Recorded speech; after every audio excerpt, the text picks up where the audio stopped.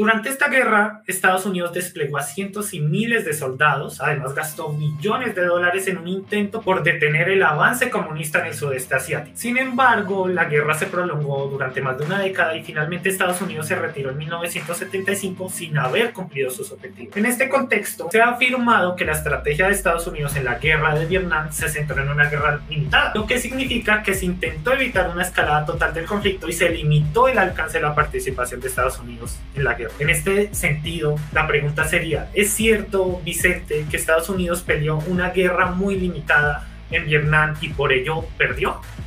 Eh, bueno, la verdad es que limitado en cuanto a medios materiales, no. Limitado en cuanto al alcance de las acciones, sí, porque en todo momento intentaron que China no se involucre en la guerra y, más allá incluso la, Unión Soviética. Desde ese punto sí se podría hablar de, ciertas limitaciones, pero materialmente el, el esfuerzo eh, norteamericano fue gigantesco. O sea, la guerra, la única limitación, digamos, este, estratégica, operacional que, que se reservaron, digamos, los, los, norteamericanos fue el uso de armas nucleares, pero luego de eso eh, desplegaron absolutamente todo su arsenal militar, ¿no? que ya en esa época era el, más importante del mundo. Te vuelvo a repetir, limitado fundamentalmente porque no querían involucrar a, a otras potencias como China o la Unión Soviética, pero en el campo de batalla no, no tuvieron límites, pues, ¿no?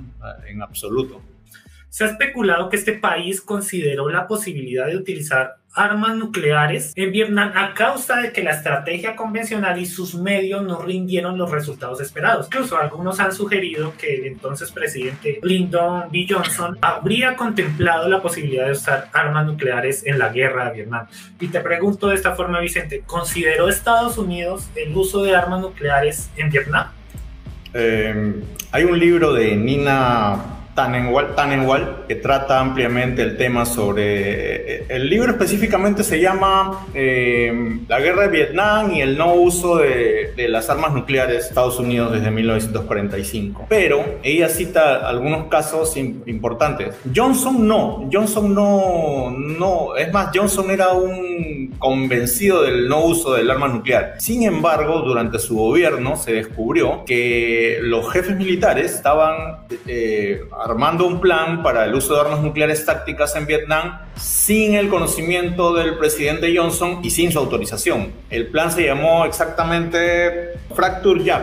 Era un plan que los militares habían elaborado para el uso intensivo de armas nucleares específicamente tácticas a lo largo de todo el territorio de, Vietnam del Norte, Vietnam del Sur, ¿no? O sea, tenían planeado una serie de ataques para poder ganar la guerra, digamos, rápidamente, ¿no? Pero Johnson no estaba enterado de ello. Johnson se entera por unas filtraciones, del, no recuerdo bien si fue la prensa o algún congresista de la oposición, y bueno, y obviamente él detuvo todo ese asunto en el gobierno que sí hubo la, aparente intención del uso de armas nucleares fue durante el de Nixon. Nixon, que no era precisamente una paloma, eh, consideró el uso, se hicieron los estudios, incluso se creyó, en algún momento se estableció que no valía la pena porque los, los objetivos en Vietnam, o sea, los que hubiesen sido atacados con, con, armas nucleares eran demasiados y muy dispersos, hubiesen tenido...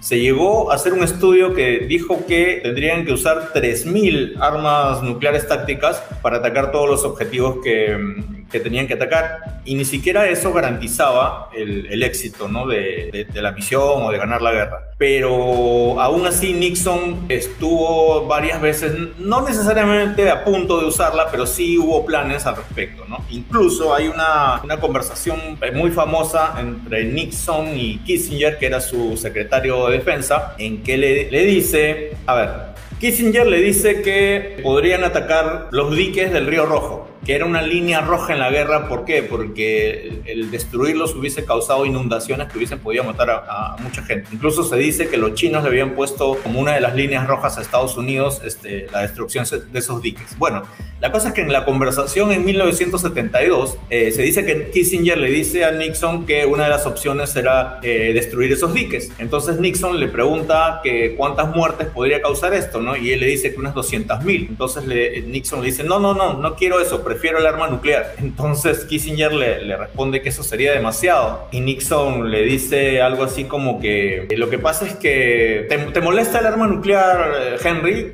Eh, ¿Por qué? Yo estoy pensando en grande, ¿no? Y luego hubo otra conversación, eh, ya, no con, ya no con Kissinger, en la, con un general, en la que mm, Nixon le dice algo así como que Vietnam del Sur puede perder la guerra, pero Estados Unidos no. Tenemos que hacer lo que sea, tenemos que demostrarle... Puede pasar lo que sea con Vietnam del Sur, pero nosotros tenemos que usar todo el poder de la nación contra ese pequeño país de refiriéndose obviamente a Vietnam del Norte, ¿no? Eh, si es que hubo planes específicos, o sea, digamos, planes sí hubo, pero no que, hayan sido trasladadas las armas o, cosas por el estilo, ¿no? Pero de, que la opción nuclear estuvo en el tintero más de una vez durante la presidencia de Nixon, sí, sí lo estuvo, eso es confirmado, pero Johnson no.